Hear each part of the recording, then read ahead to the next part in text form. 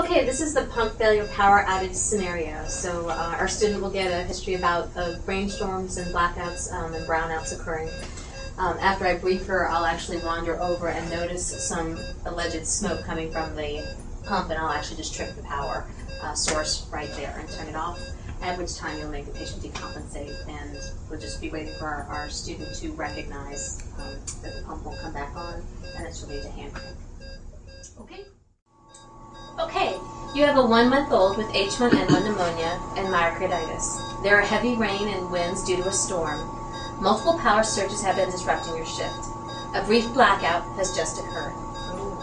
I'm actually going to stay in this scenario to be available as your nurse. Okay. And you also have a set of labs that just came back. All right.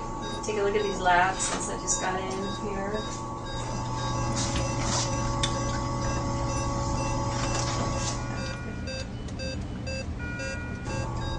Labs look alright. I'll just assess the circuit. Oh, baby's desatting. Oh, there's no flow in the transonic hemoglobin. Pump's off. Are you sure? Are you I'm sure gonna go restart this pump. You know what? I There's can't it to smoke back. coming from the back of the pump. This Oh. pump won't come back on. Let's Smoke. get this patient off ECMO. Snap him off. Okay.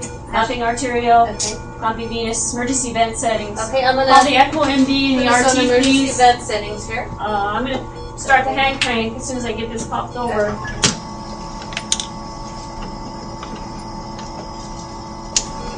Okay, we're on Send someone to go pick up the spare pump from the storage unit, please.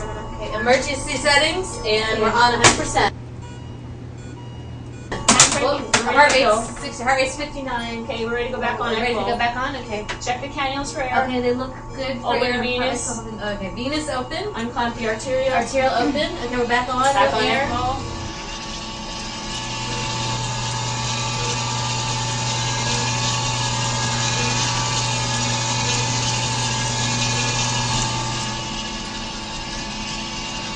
Okay. Okay.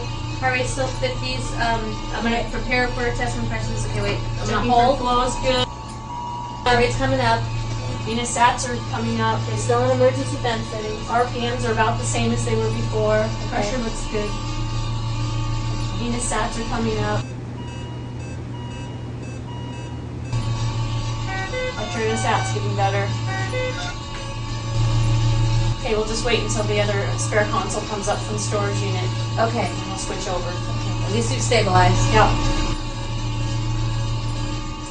Okay, nice job. Uh, you recognized right away that the patient was unstable and that it was real, and uh, clued in that it was actually the pump that had failed and would not come back on. Um, you communicated well, and you took the patient off ECMO and had your nurse assist you, um, and put the patient on emergency vent settings and got extra help. Um, it's a lot that was required there, and the communication was key. How do you feel? Yeah, you're right. That's a stressful scenario, and I think that we did pretty good communication. It certainly is the, the key to getting on the hand crank and getting back on ECMO quickly. And that requires a real uh, dexterous technical skill. How do you feel uh, confident in your skill with Um, that? I feel that's something we should practice all the time It's getting switching over to the hand crank is um, kind of cumbersome and it's not doesn't always fit perfectly. So it's good to practice.